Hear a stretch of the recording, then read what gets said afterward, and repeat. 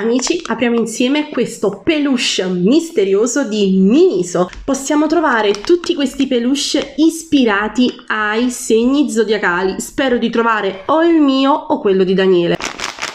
3, 2, 1. Vediamo quale abbiamo trovato. Cos'è? Non di certo il mio. Abbiamo trovato il peluche della Vergine. Fatemi sapere qual è il vostro segno zodiacale. Ciao!